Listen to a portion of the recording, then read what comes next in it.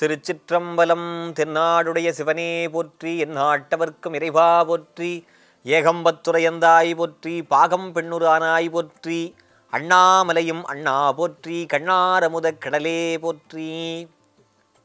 அன்பார்ந்த மாலை முரசு தொலைக்காட்சி நேயர்கள் அனைவருக்கும் அன்பு வணக்கம். இன்றைய தினம் மார்கழி மாதத்தினுடைய பத்தாவது நாள். பத்து என்ற எண்ணிக்கைக்கு மாபெரும் சிறப்புகள் உண்டு. ஒன்றே ஒன்று சொல்ல வேண்டும் என்றால் பத்தை பற்றி சொல்ல வேண்டுமென்றால் திருக்குறளிலே ஒவ்வொரு அதிகாரத்திற்கும் குரல்கள் பத்து. அதே போல இரட்டைப்படை எண்கள் என்று சொல்லுகிற இடத்திலே முதலாவதாக வரக்கூடிய எண்ணும் பத்து தான். இப்படி பத்தினுடைய பெருமையை சொல்லிக்கொண்டு போ விரல்கள் பத்து. எல்லாம் வல்ல சிவபெருமானுக்கு கரங்கள் பத்து. எப்படின்னு கேட்கலாம். சிவபெருமானுக்கு முகங்கள் ஐந்து. அதே போல பத்து கரங்கள். அப்படி பத்தினுடைய பெருமையை அடுக்கிக் கொண்டே போகலாம். தமிழிலே உயர்வான பாடல்களாக சொல்லப்படுபவை பத்துப்பாட்டு. இன்றைக்கு பத்தாவது பாட்டாக ஒரு முத்தாவ முத்துப்பாட்டு ஒன்று இருக்கிறது. என்ன முத்துப்பாட்டு? பாட்டை பார்ப்போம். பாதாளம் ஏழினும் கீழ் சொற்கு அழிவு பாதமலர் போதார் புனை முடியும் எல்லா பொருள் முடிவே. பேதை ஒருபால் திருமேனி ஒன்றல்லன். வேத முதல் விண்ணோரும் மண்ணும் துதித்தாலும் ஓத உலவா ஒரு தோழன் தொண்டருளன். கோதில் குலத்தரந்தன் கோயில் பிணா பிள்ளைகாள். ஏதவன் ஊர் ஏதவன் பேர் ஆருற்றார் ஆரையலார் ஏதவனைப் பாடும் பரிசேலோர் எம்பாவாய் என்பது இந்த பாட்டு.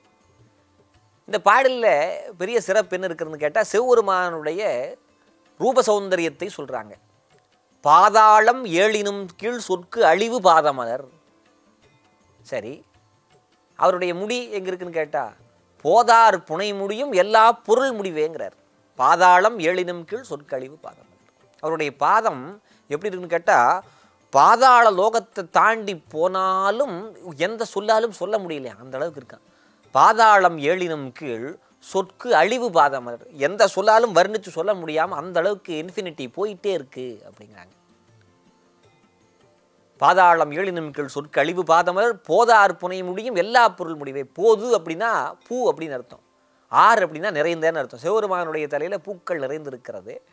அந்த நிறைந்திருக்கிற முடியானது எங்கே இருக்கிறது மேலே என்று கேட்டால் போதார் புனை முடியும் எல்லா பொருள் முடிவே. எல்லா பொருளும் முடிகிற இடத்துல அதையும் கடந்து சிவபெருமான் இருக்கார் என்பது ஒரு பொருள். ரெண்டாவது பொருள் போதார் புனை முடியும் எல்லா பொருள் முடிவே. எந்த வார்த்தையை சொன்னாலும் அந்த பொருளை விளக்க முடியலங்கிறாங்க. எல்லா சொல்லும் பொருள் குடித்தனவே. ஆனால் அந்த சொற்களாலும் கூட சொல்ல முடியாத அளவுக்கு பொருள்களாலும் விளக்கி காட்ட முடியாத அளவுக்கு அவருடைய திருமுடி உயர்வாக இருக்கிறது. அவருடைய பாதம் பாதாளத்திற்கும் கீழே சென்று கொண்டே இருக்கிறது என்று சொல்கிறார். அப்போ எவ்வளவு பெருமை. அவருடைய யாருமே அறிஞ்சிட முடியாது. அந்த அளவுக்கு பெரியவராக இருக்கிறார். அதனால் அவர் பார்க்கவே முடியாது என்று சொல்கிறாமா சொல்லலாமா? அப்படி இல்லை. அவர் நமக்கு எளிமையாக வந்து அருள் செய்ய வேண்டும் என்பதற்காக. எப்படி வர்றார்? பேதை உருப்பால் திருமேரி ஒன்றல்லன். ஏன் பேதை பேதைனா பெண் அப்படின்னு அர்த்தம். பேதைங்கிறத உமாதேவியார் சொல்கிறாங்க அவளுக்கு இடப்பாகத்தை கொடுத்தார் அப்படின்னு. இந்த அவருடைய பாதம் எப்படி இருக்கிறது? பாதாளத்துக்கு கீழ் இருக்குது அவருடைய முடி எப்படி இருக்கிறது? மேலே போயிட்டே இருக்குது சொல்ல முடியாத பொருளாக இருக்கிறது. இந்த பாட்டை கொஞ்சம் சிந்திக்கணும். இந்த பாட்டு எங்கே பாடப்பட்டது? திருவண்ணாமலையில் பாடப்பட்டுச்சு. எந்த நாளில் எந்த நாளை பற்றிய பாடலாக வருகிறதுன்னு கேட்டால் இந்த வரலாறு கார்த்திகை தீபத்தை பற்றி வருது. கார்த்திகை தீபம் எப்போ வந்துச்சுன்னு கேட்டால் சிவனும் சிவபெருமான் முன்னிலையில் பிரம்மா விஷ்ணுவும் யார் பெரியவங்கன்னு பார்த்துட்டு பிரம்மா என்ன பண்ணுறார் மேலே அன்னப்பறவை வெளிவெடுத்து மேலே போக எல்லாம் வல்ல பெருமாள் வராக அவதாரம் எடுத்துக்கொண்டு கீழே பாதத்தை பார்க்க போக அப்படி ரெண்டு பேராலும் பார்க்க முடியலை. அப்படி ஒரு வரலாறு உண்டு. அதைத்தான் இந்த போகிற போகிற போக்கில் சொல்கிறார் பாருங்களேன். பாதாளத்துக்கு கீழே பாதம் இருக்குது மேலே சொல்ல முடியாத அளவுக்கு முடி இருக்குது அப்பேற்பட்ட கடவுள் ஒரு பெண்ணை இடப்பாகத்திலே வைத்திருக்காருன்னு சொல்கிறாங்க இந்த இந்த கார்த்திகை தீப திருநாள் ஒரு சிறப்பு என்னன்னு கேட்டால் அடிமுடி தேடிய வரலாறு அன்றைக்கி தான் நடந்துச்சு. அது பிரம்மா விஷ்ணாலும் கண்டுபிடிக்க முடியல. அன்றைய தினத்தில் இன்னொரு சிறப்பு நடந்துச்சு. என்னென்னு கேட்டால் அம்பாள் காமாட்சி எங்கே வந்து காமாட்சி அம்பாளே காமாட்சியாக வந்து காஞ்சிபுரத்தில் தவம் பண்ணுறா எதற்காக? சுவாமி எனக்கு உன்னுடைய உடம்புல பாதியை கொடு அப்படின்னு சொல்லி. இன்றைக்கி தான் பெண்களுக்கு முப்பத்தி மூணு சதவீத இடஒதுக்கீடெல்லாம் பேசிக்கிட்டு இருக்காங்க. அன்றைக்கு சிவகுருமான் அன்றைக்கே உடம்பிலே பாதியை கொடுத்தார். அர்த்தநாரீஸ்வரராக ஆனார். அது எங்கே கொடுத்தாருன்னு கேட்டால் எந்த நாளில் கொடுத்தாருன்னு கேட்டால் இந்த கார்த்திகை தீபத்தன்னை கொடுத்தார். இது எந்த ஊரில் கொடுத்தாருன்னா திருவண்ணாமலையில் கொடுத்தார். இதே திருவண்ணாமலையில் தான் பிரம்மாவுக்கும் விஷ்ணுவுக்கும் அடியை முடியும் காட்டாதவர். ஆனால் அன்பால் வழிபாடு செய்த ஒரு பெண்ணுக்கு தன்னுடைய அடியிலிருந்து முடி வரைக்கும் உடம்பிலே சரிபாதியை கொடுத்தார் என்று என்னுடைய நண்பர் தாமல் சரவணன் அவர்கள் இதற்கு விளக்கம் சொன்னார். இது எவ்வளவு சிறப்பு என்று கேட்டால் நீ அறிவால் அதாவது பிரம்மா என்பது அறிவினுடைய அடையாளம் சரஸ்வதியினுடைய கணவர் இல்லையா? அறிவால் அணிய முற்பட்டால் முடியாது. அதே போல திருமால் என்பவர் யார்? செல்வத்தினுடைய அதிபதி நம்முடைய மகாலட்சுமியினுடைய கணவர். செல்வத்தால் ஆண்டவனை அடிய வேண்டும் என்று நினைத்தால முடியாது. அன்பு என்கின்ற ஒன்றை வைத்துக்கொண்டு நீ சென்றால் அவன் அடியிலிருந்து முடிவரைக்கும் சரிபாதியை தந்து தன்னை ஆட்படுத்தக்கூடிய கடவுளாக அவர் இருக்கிறார் என்பதைத்தான் பேதை ஒரு பால் திருமேனி ஒன்றல்லன் பே ஒரு பால் இடத்த கொடுத்துருக்காரு. அதனால் அப்படி பெண் நம்ம அழ- அவர் வந்து இன்ஃபினிட்டியாக இருக்கார். அளக்க முடியாதவராக இருக்கார். ஆனால் அன்பு கொண்டு என்று சொன்னால் உடம்பிலேயே பாதியை கொடுப்பவராக இருக்கார். அப்போ ரொம்ப இறங்கி வந்துடுவாரா? இறங்கி வர்றவர் தான். ஆனால் அதுக்காக அவர் சாதாரணமாக நினச்சிடாத. அப்புறம் பேதை ஒரு பால் திருமேனி ஒன்றல்லன் அதுக்காக அர்த்தநாரீஸ்வரர் என்கின்ற மூர்த்தம் மட்டும்தானா? அவருக்கு திருமேனி எவ்வளவோ திருமேனி இருக்குது லிங்கமாக இருப்பார் ஜோதி வடிவமாக இருப்பார் அர்த்தநாரீஸ்வரராக இருப்பார் நடராஜராக இருப்பார். எத்தனையோ திருமேனி திருமேனி ஒன்றல்லன் எவ்வளவு ஏன்? நீங்கள் இதுக்கு முந்தைய பாடலில் பார்த்தீங்கன்னா முன்னை பழம்பொருட்கும் முன்னை பழம்பொருளே பின்னை புதுமைக்கும் பெயர் தும்ப பெற்றினேங்கிறதுல எவ்வளவோ பொருட்கள் இருக்கும். அந்த பொருட்களை எல்லாம் படைப்பவனே கடவுள் தான். நம்ம படைப்பு மட்டும் கொண்டாடிக்கிட்டு இருக்கோம். இந்த பொருள் நல்லா இருக்கு.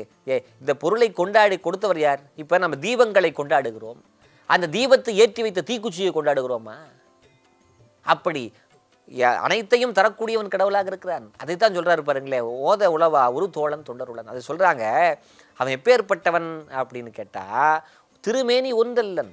அவனுக்கு திருமேனி என்பது ஒன்று இல்லாமல் இருக்கிறது. சரி அவன் என்னெல்லாம் யாரெல்லாம் கொண்டாடுகிறார்கள் அப்படின்னு கேட்டால் வேத முதல் விண்ணோரும். வேதத்தை முதலாவதாக கொண்டு போற்றப்படக்கூடிய விண்ணோர்கள் தேவர்கள் எல்லாம் போற்றுகிறார்கள். தேவர்கள் மட்டும் போற்றல.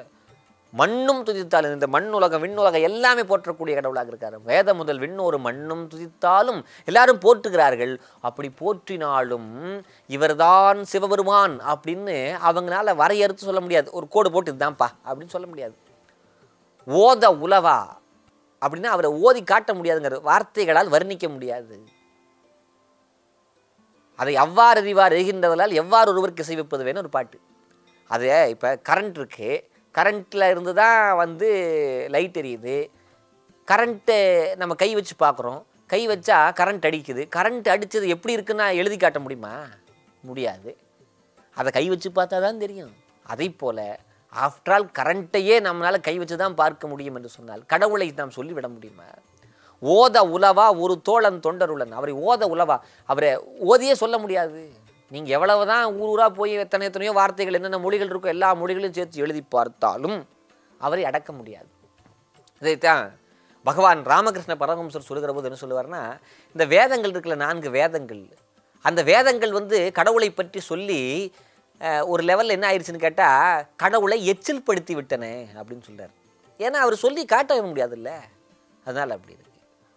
நீங்கள் ஒன்றும் இல்லைங்க. நீங்கள் ஒரு நல்ல ஒரு மைசூர் பாக் சாப்பிட்றீங்க அந்த இனிப்பு எப்படி இருந்துச்சு அப்படின்னு கேட்டால் மற்ற இனிப்புக்கும் இந்த இனிப்புக்கு எந்த வித்தியாசம் எவ்வளவு பக்கம் எழுதி காட்டிட முடியும்?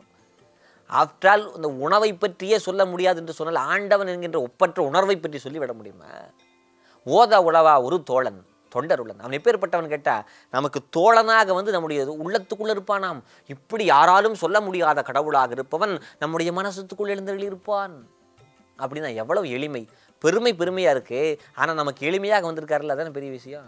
ஒரு பல்கலைக்கழகத்தினுடைய துணைவேந்தர் பெரிய ஆளுங்க அவரை பார்க்கவே முடியாத அளவுக்கு பெரிய ஆள். எல்லா யூனிவர்சிட்டியிலும் எல்லாருமே கொண்டாடக்கூடியவர். ஆனால் ஸ்டூடெண்ட்ஸுக்கு கூட தோள் மேல் கை போட்டு எளிமையாக பழகுவார் அப்படின்னு அவ்வளோ பெருமை. அப்படி யாராவது வாழ்ந்தாங்களா அப்படின்னு கேட்டால் இந்த திருவாசகத்திற்கெல்லாம் உரை சொல்லக்கூடிய எங்களுக்கெல்லாம் பெரிய ஆசிரியராக இருந்தவர் பேராசிரியர் பத்மஸ்ரீ டாக்டர் அவ்வை நடராஜன் அவர்கள். அவர் பல்கலைக்கழகத்தினுடைய தஞ்சை தமிழ் பல்கலைக்கழகத்துடைய துணைவேந்தராக இருந்தவர். அவர் என்ன பண்ணுவார்? நான் கேட்டேன். அவர்கிட்ட ஐயா நீங்கள் இவ்வளோ உயர்வாக இருக்கீங்களே ஆனாலும் நீங்கள் இவ்வளவு புகழ் வருவதற்கு காரணம் என்ன? அப்படின்னு கேட்கிற போது நான் தெ- நான் பல்கலைக்கழகத்துக்குள்ளே நடந்து போகிற போது தோட்டக்காரர் கூட என்னுடைய தோளை தட்டி பேசலாம். அதுதான் என்னுடைய வளர்ச்சிக்கு காரணம் என்று சொன்னார். அதை போல சிவருமான் எப்படி இருக்காருன்னு கேட்டார். ரொம்ப பெரியவர். ஆனால் எளிமையாக வந்து அனைவருக்கும் தொண்டர் உள்ளத்துக்குள் இருப்பவர். அதுதான் பெரிய விஷயம். ஓத உலவா ஒரு தோழன் தொண்டருளன் கோதில் குலத்திறந்தன் கோயில் பிணா பிள்ளைகள் இதெல்லாம் யாருக்கிட்ட சொல்கிறாங்கன்னு கேட்டால் பெண்கள் இந்த பிணா பிள்ளைகள்னு சொல்லுவார்கள். கோயிலில் பூ கட்டுவது இந்த மாதிரி வேலைகளை செய்வார்கள். சிவனடியார்கள் யாராவது கிடைத்தார்கள் என்று சொன்னால் அவர்களை ஒருவரை திருமணம் செய்து கொண்டு அவர்களுடன் வாழக்கூடிய மரபு. அப்படி யாராவது இருந்தாங்கன்னா சுந்தரமூர்த்தி சுவாமிகள் இருந்தார். சுந்தரமூர்த்தி சுவாமிகளுடைய மனைவி சங்கிலி நாச்சியார் அந்த மரபை சார்ந்தவர்கள். பிணா பிள்ளைகள்னு சொல்லுவாங்க. அப்படி கோவில் பிணா பிள்ளைகள்னு சொல்லிட்டு அந்த பெண்களுக்கு சொல்வதைப் போல நமக்கெல்லாம் மாணிக்க வாசக பெருந்தகை அவரை பற்றி செவருமானை பற்றி சொல்லுகிறார். ஏதவன் ஊர்? சில பேர் வந்து இந்த ஊரில் தான் போய் சார் சாமி கும்பிடணும் சார் அப்படின்னு கும்பிட போவாங்க.